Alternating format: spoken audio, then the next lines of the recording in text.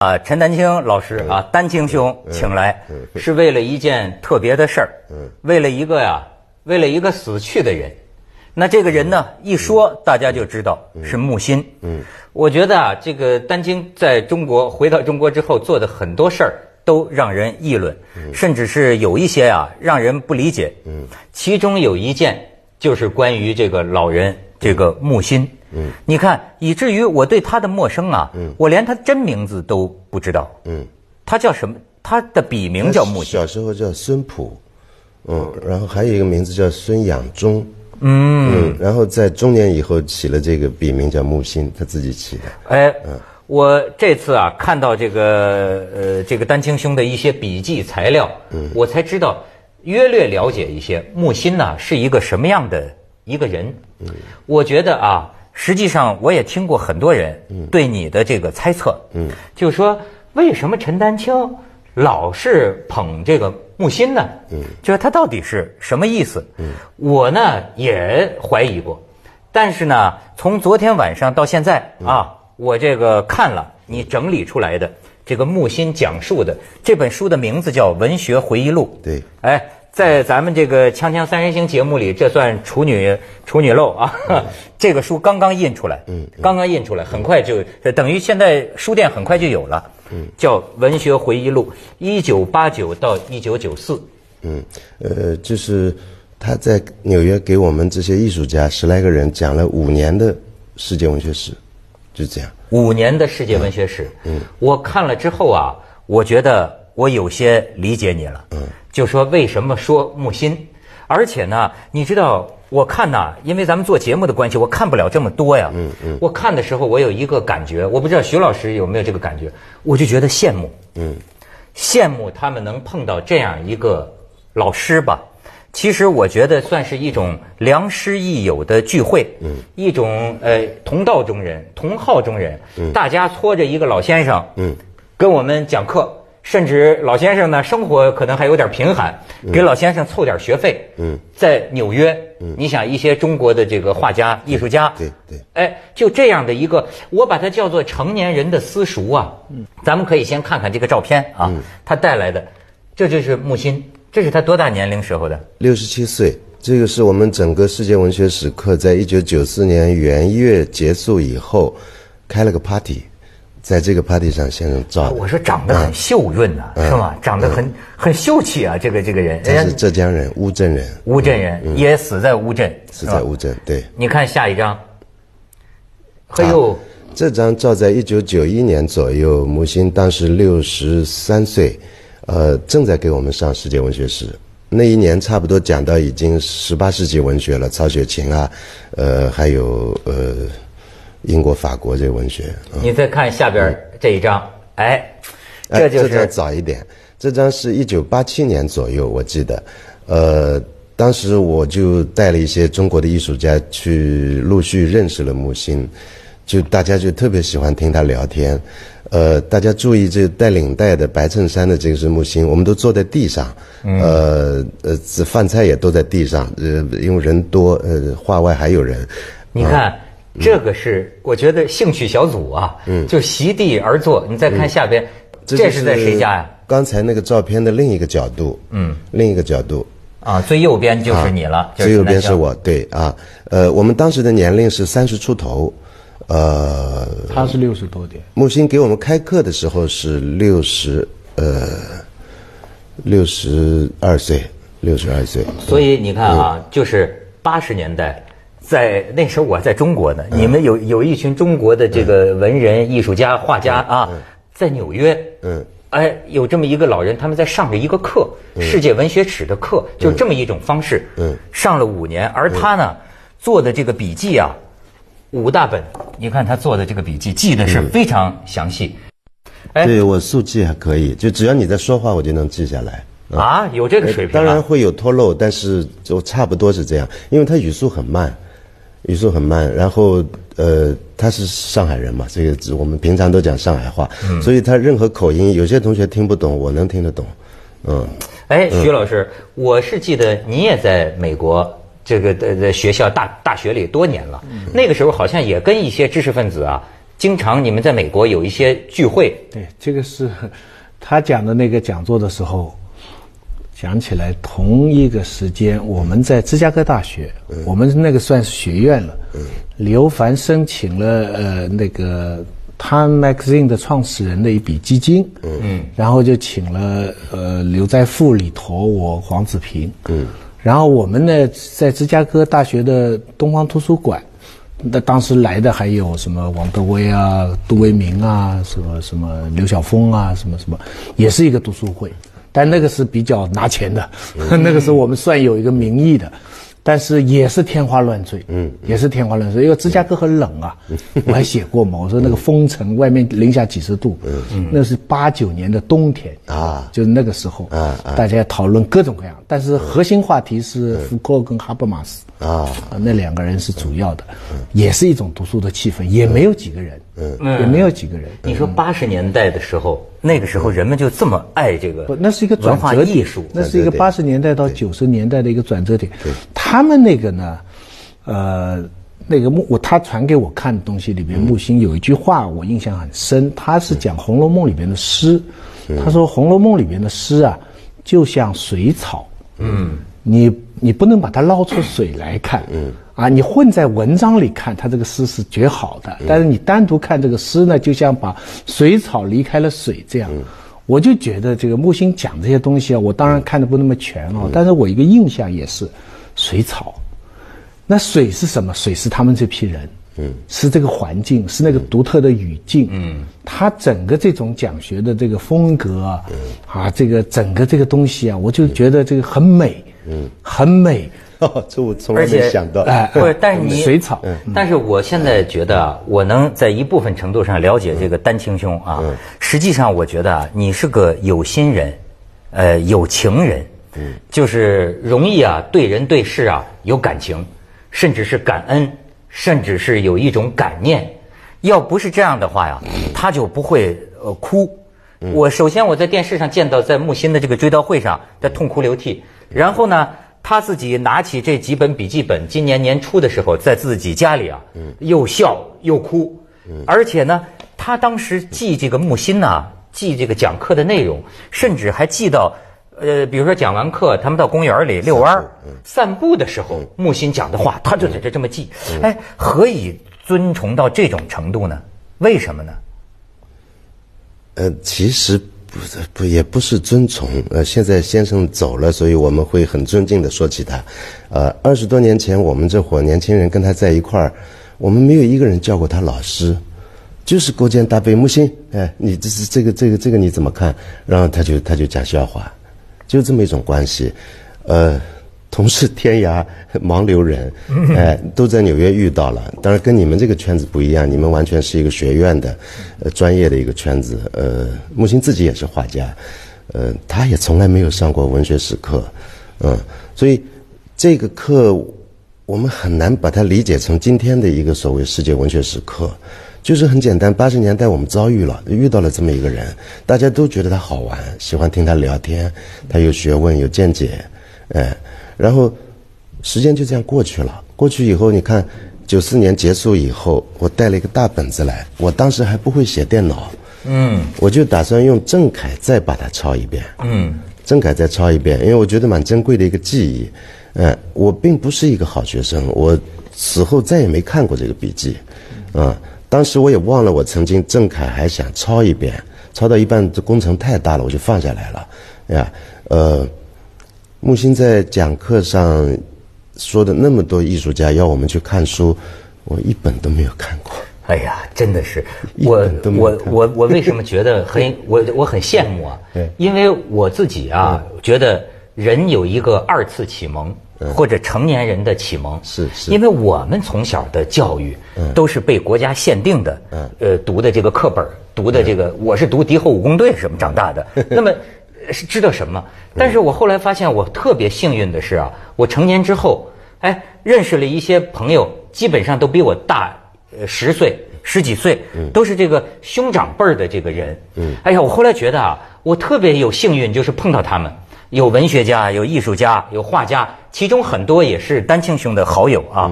哎，我就觉得多亏有他们呢，呃，给我打开这么一扇门，哎呦，让我知道啊，原来还有这样的文学，原来还有这样的绘画，哦，原来还可以，这个也是美的，你知道吗？这是二次启蒙。启蒙呢，英文叫 enlightenment，嗯，enlightenment 就是光，就是给你光。嗯，其实它有两个意思。中国人一般理解第一个意思，就是最早教你东西的人叫启蒙。嗯，所以一般我们把母亲、把父亲、把小学老师，尤其很多人叫中学的语文老师叫启蒙。但另外一种启蒙，现在讲的比较多的就是禅宗的顿悟。嗯，就是说你说的太你读了一百本书，嗯，但是突然有一本。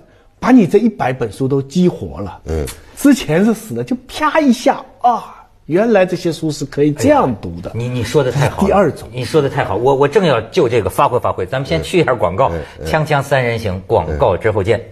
咱们刚才啊说了半天，人家肯定觉得这个木心到底说了什么，你至于，我觉得总得让大家看到点瓤啊，就好比说。他讲的是这种内容，我可以给大家，我随便找找来一些摘录啊。嗯，你看这个丹青记的啊，第三十二讲，一九九零年九月二十号，嗯，他还都注明啊，嗯，这个是在谁家啊？就比如讲日本中世纪文学，他讲他讲课是个什么风格？你看啊，抱着原谅的心情去看这些诗啊，很轻很薄，半透明，纸的、木的、竹的，日本味儿，非唐非宋。也不是近代中国的白话诗，平静恬淡。你看他对日本诗的这种感悟啊，感悟，这充满悟性的，不见哪儿有力度、深度或者有智慧出现。你要写却写不出来，这就像他们的芥末、木拖鞋和纸灯笼。对，你看他又是这种联想式的，联想式的。比如说讲到《源氏物语》了啊。《源氏物语》是世界上的大小说，煌煌巨著啊。呃，其实我只看过《源氏物语》的一部分，其中一帖铜壶好的不得了，文字像糯米一样柔软，但看全本到底不如《红楼梦》。你看他讲这个日本的味道，日本的腔调，你们上海话讲腔调哈，对，怪味道，甜不甜，咸不咸，日本腔啊。你看他就是诗上天真，很能动人，特别是讲到这儿，对这句话好。这个中国唐文化对日本的影响真是触目皆然，世界上再没有两国文化如此交织。但是，只是日本学中国，中国不学日本。日本的文化艺术生活都是中国模式。中国自唐以后，宋元明清，照理可惜可以向日本取回馈，但是一点影子也没有。中国人向来骨子里是藐视日本人，其实是吃亏的，早就该向日本文化要回馈了。然后他说：“我是日本文艺的知音，知音但不知心。他们没有多大的心。日本对中国文化是一种误解，但这一误解，误解出自误解出了自己的风格，误解的好。哎，你看我说的，就是徐老师你刚才讲的启蒙啊，还有一个是顿悟。嗯，我听过一些老师讲课，你比如说咱们都认识的阿成老师哈，我经常说，我说他是一种什么人呢？”甚至他也不见得，你说你到底赞同不赞同他的观点？我认为他是某种遨游在啊学问知识海洋当中啊，灵感纷飞，这个这个这个这个弹性一起来呀，你感觉到的是一种启发，处处有启发。他把这个和那个联系在一起，把这个和那个联系在一起。哎呦，这过去佛经里有一讲话叫“大开慧解”呀，还是“大开圆解”，让你觉得啊。哎呀，跟课堂上那种老师念课本，学生在睡觉，跟我们受的那种教育啊，完全是两个路数。悟性，哎，这个这个还是丹青谈一谈，这我们这个喧宾夺主了啊。没有啊，呃，我我我很高兴你你你你你摘的这些，呃，你刚才讲到顿悟，他就讲到还会顿迷。哎，然后他比较重视一个见悟的过程。嗯，他顿悟其实这个来自许很多见悟。然后你你你如果没有到顿悟那一份，慢慢又会见迷。他其实是个见迷见悟，然后慢慢顿悟。但是意思就是说，你如果保持读书，保持在一个一个一个一个一个高的位置上看所有这些知识，呃，他说你的顿悟的这个这个层次就会一点点高上去。所以他有句话说的蛮好，他说我们说来说去，无非给大家一个制高点。然后一览众山小，看各种问题看得清清楚楚，而且不断不断一览众山小，哎，那么就你这句话我印象很深，不断不断一览众山小，哎给我的感觉好像 Google Map。是是 是是是再找下去，哎啊，对于这个一览众山小，他说好书就是给你一个制高点，哎对，对这个我很同意。还有一个呢，也说的很好。他说，有些书要浅读，不要去深读；有些书要深读，不能去浅读。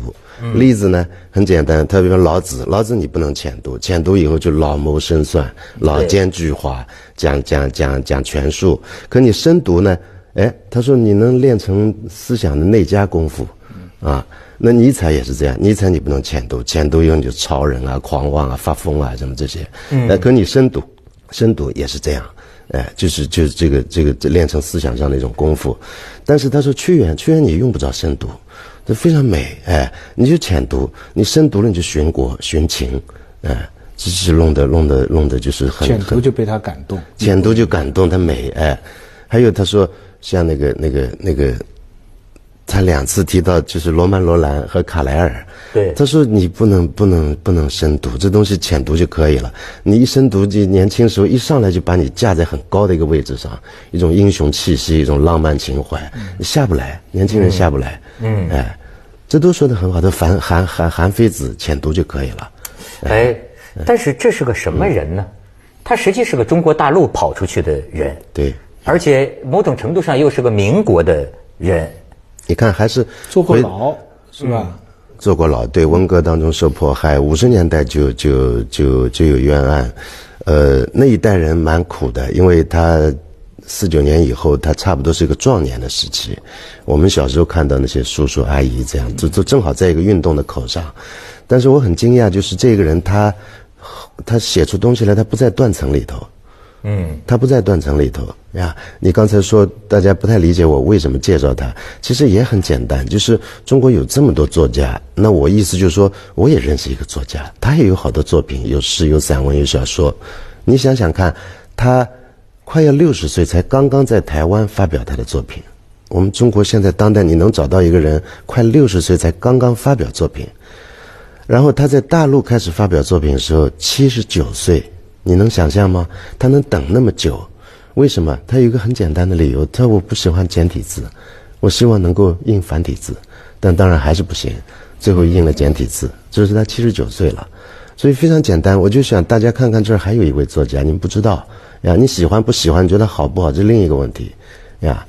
那么我完全没有想到，零六年回来以后，他居然真的在不少青年那儿，七零后、八零后，甚至九零后。就有了一批读者，然后去年冬天他去世，去世我就得去到医院里去，然后到殡仪馆去办后事，呃，他的镇上也帮着一起办。我完全没有想到会有逾百位年轻人都是八零后，读书的也有，干活的也有。就听到这个消息，微微博放下，坐了火车就赶到桐乡来，然后就来送他。我非常感动，我非常我没有想到。然后下午是追思会，追思会呢。青年大家都你一句我一句在那儿怀怀念他，然后他们都知道我们曾经上过他的世界文学史课，说我们能不能看到这本书，嗯。啊，所以才会有这件事情。此前我这五本笔记就放在抽屉里面放了二十多年，所以啊，这是我就说你真是做这件事是有功德的。我很我很希望能够到时候在在旁能够听他讲的这些内容，肯定很有意思。很好玩的，哎，呃，而且很好读，嗯，很好读，呃，呃，我在录录的过程当中，就是这个情境慢慢想起来了，呃，因为我们大家有一段这个很有意思，就有点不耐烦听他讲《史记》，啊，就就是这几几年几几年这个人的这个这个生平什么这些，他说你们想听我的观点，那。史料和观点是什么关系？他说是马和缰绳的关系，嗯，但是你得胯下有马。嗯，哎，这个说法也很有意思。这段我注意到，哎哎哎，很精彩。哎哎，就是你们一批画家就想听观点，不肯看原著，对不对？现在很多年轻人都是这样，就是最好得到一个方法。现在他们倒是不听观点，他们最好得到西方的一个什么新的方法，然后几个简单的文本就驾驭出一个论文来。但是所有的大学问家都会告诉你。你先要回到原点，先要读很多原来的东西。你不得不佩服他在这个年龄，你知道他这个同年龄的很多知识分子，是在五十年代卷入了革命运动，对然后在那里对。批判朱光潜啊，就是在这么一个潮流当中，他等于是比朱光潜、李泽厚他们更晚一辈。对对。从年龄上来讲，他这个年龄辈是大陆学术界的一个断层辈。对对对，嗯，他又不是八十年代以后陈平原他们那批 No, no, 又不是李泽厚或者更早朱光潜，对对。他这一辈其实是最受政治影响、最受政治的阻碍的这一批的人，对。就是我们以前说的十七年的这么这么一批人。可是他是个艺术，我感觉就是当年的这个阶级斗争风暴当中，竟然有这么一条漏网之鱼。但是你看啊，他读过的书，这就让我们很好奇。他经常跟你感叹，嗯，说：“哎呀，你可怜呐，读书太少了，嗯，没法对话。”对对。这个，嗯，很有意思。他怎么读的这么多书呢？你看，就像子东刚才讲的，他比五四上一代人，包括比五四青年那代人，他是个小孩子；可是比我们文革后出来这批人，他又是个长辈。他是二七年生的，我父亲是二八年生的，他是一个长辈，所以他到纽约以后，因为他完全与世隔绝，他他他不跟文化界打交道，呃，他在工艺美术单位啊，为了自保，当然做我什么工作？他就是工艺美术设计师，嗯，那么呃，都是偷偷写作、偷偷画画呀。那么后来终于出国了，出国以后，实际上他接触到我，然后再跟接触到后来听课这些学生，是他第一次接触到比他小一辈儿子辈的年轻人，那。对接几下，他就说：“你们什么都不知道啊！你们什么都不知道，很惊讶。”哎，那也就是说，他并不觉得他知道很多，他经常说博学可耻，呃不要看那么多书。就是他我他我不是个学问家，他更不承认他是个学者，他是不是个学者？嗯呀，他基本上还是作家论学，对对哎哎对对对，哎，基本上还是作家。甚至可能所谓的如果是专家学者啊，还会看不上他的一些想法，是吧？但是由于你陈丹青的推荐哈，木心现在在中国大陆的学术界哈已经引起很大争议。接着下来为您播出《呃西安楼冠前不久文明启示录》。就